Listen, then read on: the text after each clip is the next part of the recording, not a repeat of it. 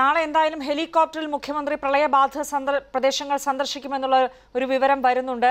വലിയ നടപടികൾ സർക്കാർ വലിയ നടപടികൾ ഒരുക്കിയിട്ടുണ്ട് ഈ ഒരു പ്രളയ ദുരന്തം നേരിടാനായിട്ട്. എന്തൊക്കെയാണ് മുഖ്യമന്ത്രിയുടെ നാളത്തെ സന്ദർശനത്തിന്റെ വിവരങ്ങൾ? തീർച്ചയായും സംസ്ഥാനം ഇന്ന് വരെ ഏറ്റവും വലിയ ഒരു പ്രകൃതിക്ഷോഭമാണ് നേരിടുന്നത്. ഇതിനു വേണ്ടിയുള്ള എല്ലാ മുന്നൊരുക്കങ്ങളും തയ്യാറാക്കിയിരുന്നു. അതുപോലെ തന്നെ ഇപ്പോൾ ഒരു പ്രത്യേക സാഹചര്യത്തിൽ ഏത് സാഹചര്യത്തെയും നേരിടാൻ സംസ്ഥാനം സംസ്ഥാനത്തിലെ വിവിധ വകുപ്പുകൾ സജ്ജമെന്നാണ് സർക്കാർ അറിയിക്കുന്നത്. അതിന് ദിവസം രണ്ട് പ്രാവശ്യം മുഖ്യമന്ത്രിയുടെ നേതൃത്വത്തിൽ തന്നെ ഉന്നത ഉദ്യോഗസ്ഥർ ചേർന്ന് സ്ഥിതിഗതികൾ അവലോകനം ചെയ്യുന്നുണ്ട്. ഇന്ന് രാവിലെ ചേർന്ന അവലോകന യോഗത്തിലാണ് ഈ ഹെലികോപ്റ്ററിൽ മുഖ്യമന്ത്രി സ്ഥലം സന്ദർശിക്കുക എന്നൊരു ചർച്ച ഉയർന്നു വന്നത് ഡി ജി പി ഇക്കാര്യത്തിൽ ചുമതലപ്പെടുത്തിയിരുന്നു. ഡി ജി പി ഇക്കാര്യങ്ങൾ പരിശോധിച്ച ശേഷം ഹെലികോപ്റ്റർ തയ്യാറാക്കി അതിന്റെ സന്ദർശന സമയമെല്ലാം തയ്യാറാക്കിയ ശേഷമാണ് ഇന്ന് ഉച്ചയോടുകൂടി ഇക്കാര്യത്തിൽ തീരുമാനമുണ്ടായിട്ടുള്ളത്. പ്രളയബാധിത പ്രദേശങ്ങൾ മുഖ്യമന്ത്രി ഹെലികോപ്റ്റർ സന്ദർശിക്കും. റവന്യൂ മന്ത്രിയും ഡി ജി പിയും ചീഫ് സെക്രട്ടറിയും അദ്ദേഹത്തോടൊപ്പം ഉണ്ടാകും. രാവിലെ ഏഴരയ്ക്ക് ദക്ഷിണ വ്യോമസേന താവളത്തിലെ ടെക്നിക്കൽ ഏരിയയിൽ നിന്നും മുഖ്യമന്ത്രി പുറപ്പെടും എന്നാണ് ഇപ്പോൾ അവസാനമായി അറിയാൻ വേണ്ടി സാധിക്കുന്നത്.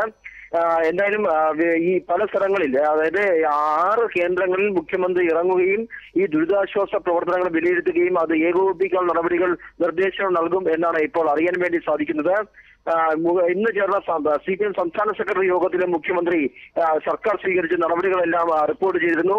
എന്തായാലും കേന്ദ്ര പ്രധാനമന്ത്രിയും കേന്ദ്ര ആഭ്യന്തര മന്ത്രിയും മുഖ്യമന്ത്രിയെ വിളിക്കുകയും വേണ്ട പ്രവർത്തനങ്ങൾ വേണ്ട സഹായങ്ങൾ വാഗ്ദാനം നൽകുകയും ചെയ്തിട്ടുണ്ട്.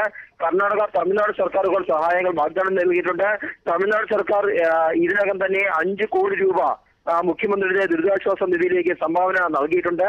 പത്ത് കോടി രൂപ കർണാടക സർക്കാർ നൽകാമെന്ന് അറിയിച്ചിട്ടുണ്ട്. മാത്രമല്ല ബാണാസുര സാഗറിലെ ജലനിരപ്പ് ഉയരാതിരിക്കാനുള്ള നടപടിക്രമങ്ങൾ ഇതിനകം തന്നെ കർണാടക സർക്കാർ സ്വീകരിച്ചിട്ടുണ്ട്. Loknath Behera D G P അറിയിച്ചുള്ള പ്രകാരം പോലീസിന് മുമ്പിലുള്ള ഏറ്റവും വലിയ വെല്ലുവിളിയാണ് ഇപ്പോൾ നടന്നുകൊണ്ടിരിക്കുന്നത്. കാരണം ഈ ഈ ജലനിരപ്പ് ഉയരുകയും അത് ആലുവയൊക്കെ ആലുവ പട്ടണത്തെയും ജനജീവിതത്തെയൊക്കെ ബാധിച്ചു തുടങ്ങിയാൽ വലിയ തോതിലുള്ള ഗതാഗത കുരുക്ക്. ഇപ്പോൾ തന്നെ എറണാകുളം നഗരത്തിലും കൊച്ചിയിലും ഒക്കെ ഗതാഗത കുരുക്ക് വലുതാണ്. ഇത്തരമൊരു സാഹചര്യം ഉണ്ടായ വലിയ തോതിലുള്ള ഗതാഗത കുരുക്ക് ഉണ്ടാകും. അത് പരി പരിഹരിക്കാൻ വേണ്ടിയുള്ള പദ്ധതികൾ തയ്യാറാക്കിയിട്ടുണ്ട്. പോലീസ് സേനയിലെ തീരദേശ സുരക്ഷയുടെ ചുമതലയുള്ള A D G P Suresh കുമാറിനെ ഈ പ്രവർത്തനങ്ങൾ ഏകോപിപ്പിക്കാനുള്ള നോഡൽ ഓഫീസറായി നിയോഗിച്ചിട്ടുണ്ട്. ഫയർഫോഴ്സിനെ ഫയർഫോഴ്സ് ഈ തുടക്കം മുതൽ തന്നെ ആല- ആലപ്പുഴയിലും അതുപോലെ തന്നെ കുട്ടനാട് കോട്ടയം എന്നിവിടങ്ങളിൽ തന്നെ പ്രളയം ഉണ്ടായപ്പോൾ വളരെ സുദീർഘമായ സേവനമാണ് അഗ്നിശമന സേന നടത്തി വരുന്നതെന്ന് സർക്കാർ വിലയിരുത്തുന്നു. അതുകൊണ്ട് തന്നെ പോലീസ് അഗ്നിശമന സേനാംഗങ്ങളെ സഹായിക്കാൻ കൂടുതൽ ഒരു ബറ്റാലിയൻ പോലീസിനെ നിയോഗിച്ചിട്ടുണ്ട്. സംസ്ഥാനത്തിന്റെ അഭ്യർത്ഥന പ്രകാരം കേന്ദ്ര സേനകൾ ഈ പ്രളയബാധിത പ്രവ- പ്രവ- പ്രവർത്തനങ്ങളിൽ വിവിധ സ്ഥലങ്ങളിൽ ഇപ്പോൾ സേവനം അനുഷ്ഠിക്കുന്നുണ്ട്. ദുരന്ത നിവാരണ സേന എയർഫോഴ്സ് കരസേന നേവി തുടങ്ങിയ വിവിധ വിഭാഗങ്ങളുടെ പ്രവർത്തനങ്ങൾ നടക്കുന്നുണ്ട്. നാല് കമ്പനി ദുരന്ത നിവാരണ സേന സംസ്ഥാന സർക്കാരിന്റെ അഭ്യർത്ഥന ഇന്ന് എറണാകുളം ജില്ലയിൽ എത്തിച്ചേരും.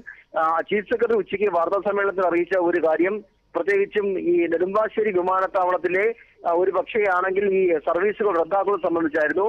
പക്ഷേ ഇതിനകം തന്നെ സിവിൽ ഏവിയേഷനുമായി സംസ്ഥാന സർക്കാർ ചീഫ് സെക്രട്ടറി ചർച്ച നടത്തി കഴിഞ്ഞു. അങ്ങനെയെങ്കിൽ ഹർജ് തീർത്ഥാടനം ഉൾപ്പെടെയുള്ള കാര്യങ്ങൾ മാറ്റം വരില്ല.